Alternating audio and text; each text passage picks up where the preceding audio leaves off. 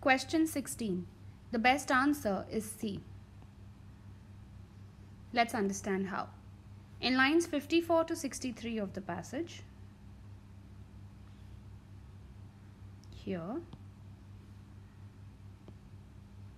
the author explains how sociologist Ernest W. Burgess determined that urban areas have a traditional four zone structure.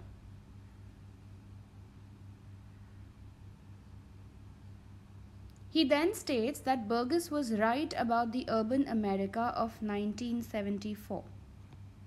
Here.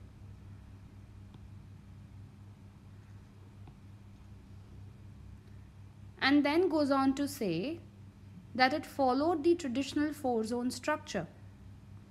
Virtually every city in the country had a downtown where the commercial life of the metropolis was conducted. It had a factory district just beyond, it had districts of working class residences just beyond that, and it had residential suburbs for the wealthy and the upper middle class at the far end of the continent.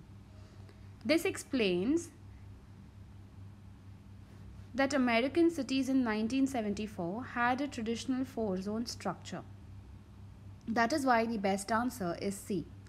Choices A, B and D are incorrect because the passage does not imply that American cities in 1974 were witnessing the flight of minority populations to the suburbs or had begun to lose their manufacturing sectors or were already experiencing demographic inversions.